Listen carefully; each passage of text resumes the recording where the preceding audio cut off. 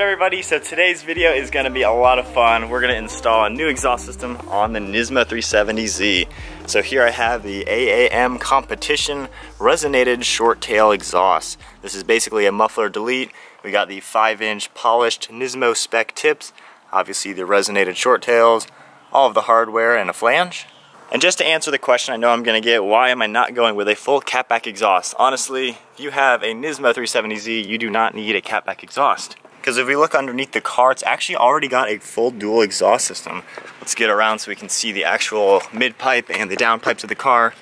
But if we look under here, that is the stock cat on each side. And then it comes along on each side, goes to an H pipe, and then all the way back to dual. So already in the stock configuration, the Nismo has a true dual exhaust system. The H-pipe, mid-pipe is perfectly sufficient.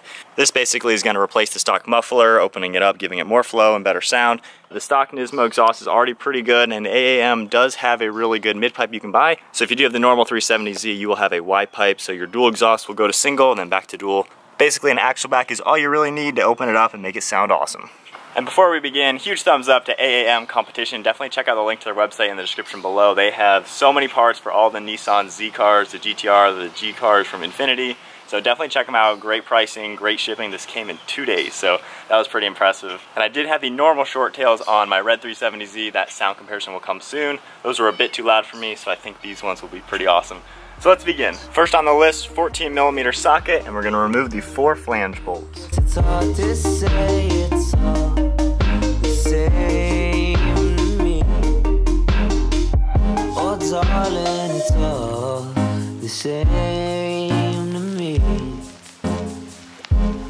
Next up, we're gonna take a 12 millimeter socket and remove that bolt holding that hanger up.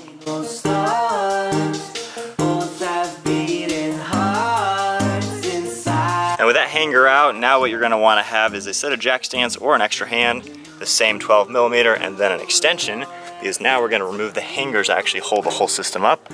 So you can see these three bolts right up there. We're gonna remove them on each side. And with the jack stands in place, basically once I get those bolts off, the exhaust is gonna fall down a little bit. Those are just there to catch it.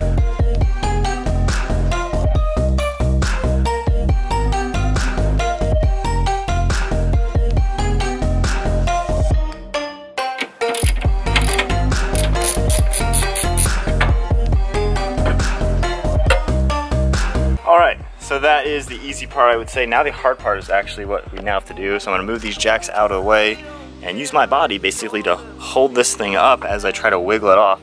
And the little bit of the, the challenge portion of this is I have to slide it off of those bolts as you can see.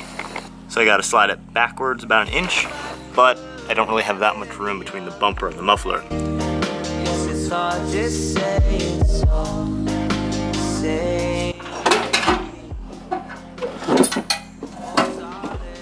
Alright, that was a lot easier than I did it on the other 370, although this is an awkward spot. Exhaust is still a little warm, so don't do this as soon as you shut off your car.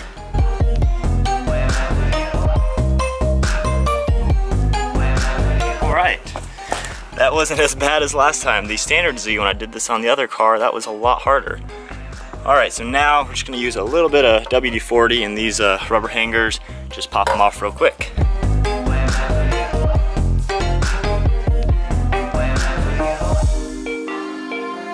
So all the removal is now complete, time for the install. So now we'll just take a quick look at everything side by side.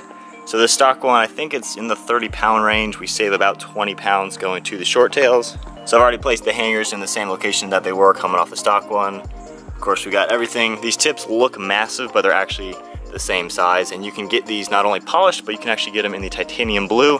And these two pieces here are actually spacers. You can stack them or use one on each side. They're gonna go right there. And on my red Z I ended up using both of them on the passenger side. That made them perfectly even. So first up I'm gonna take this one and go ahead and install it onto the new exhaust. And then I'm gonna take the three bolts that came out of the flange put them in there, loosely thread them as I stick this onto the mid pipe. And then of course we're gonna remove these stock little gaskets Take the stock ones off of each side and then use the new ones. Now while we're under here, it's actually kind of interesting to look at the Nismo because this is a lot different than the standard Z. Like this right there, performance damper, and then this brace right along there. So there's a lot of new suspension stuff under here. And then some reviews of these exhausts actually recommend removing this whole heat shield. I may or may not end up doing that, but that is something that you might want to remove. It might rattle a little bit, so I will let you know in the description below if I end up removing that.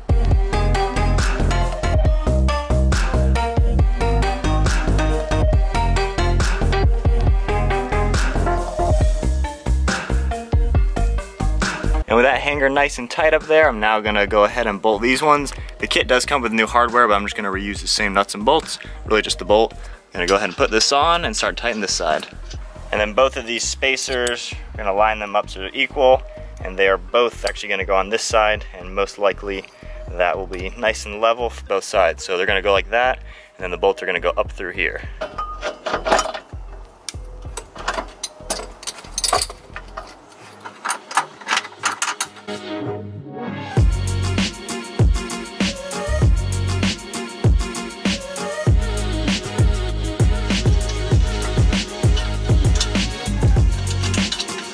Next up, we're gonna take the new tip, very big looking, pretty cool. Uh, it's got these slots in here obviously, so that'll make it a little bit easier. And then once they're both on, I can adjust them a little bit, you know, left and right because they do have a slant to them. You obviously want them top, and then I don't want them too far, too far in. And this is a 10 millimeter bolt that we're tightening up.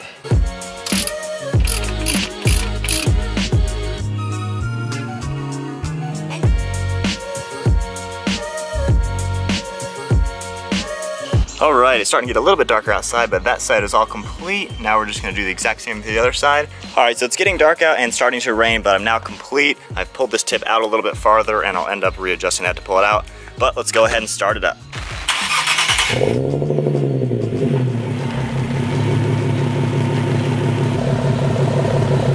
Sounding pretty good, idling not too crazy loud as of right now. But like I said, I'll go ahead and just readjust them a little bit and then tomorrow morning when it's light out, we'll continue. So it is now the next morning. We'll go ahead and get a quick cold start and then this evening I'll do the final fine tuning of the system.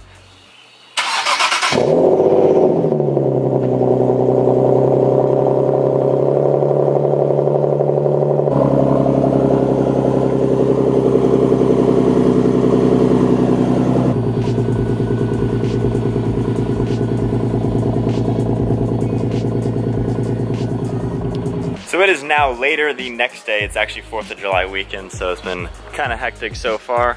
So we are now completely done with the installation of the AAM resonated short tail exhaust. Overall, as you saw, was pretty straightforward. Really it had no issues during the entire installation. The overall fitment is pretty good. This side still hangs a little bit higher than this side. This is a little bit lower. So I'm probably gonna add a little bit more spacers to this side. So the two spacers you saw are on this side currently. It does need a little bit more to hang perfectly.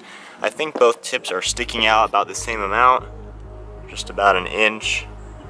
So overall, looks pretty good. The sound is really good so far. I've been driving around for the day basically, put about 40 miles on the car and it's really, really good. I'll be doing a full review of it, of course, going into more detail, comparing these to the non-resonated ones, but I'm really happy with it, so I give this kit maybe a 95% out of 100 of good qualityness. Overall installation really well. Maybe one more spacer would be nice if the kit came with. And then the hardware you really don't need. I just reused the stock hardware and it works perfectly fine. Fitment is really good. There's a few more little adjustments I can do just to get them perfect. And like I mentioned earlier with the Nismo, I don't need to spend the money on a catback exhaust. And if you do have the normal Z, you can get the AAM mid-pipe, which will make this a true dual one all the way up to the cats. But basically this now has a true dual exhaust, no more restrictive muffler, really good looking 5 inch tips that are the same size as the Nismo tips and looks good and sounds really awesome. So that is the installation of the AAM resonated short tails on the Nismo 370Z. Definitely a really good kit. I'm really happy with it so far. Can't wait for some more driving with it. That's all I want to do right now is just keep driving the car.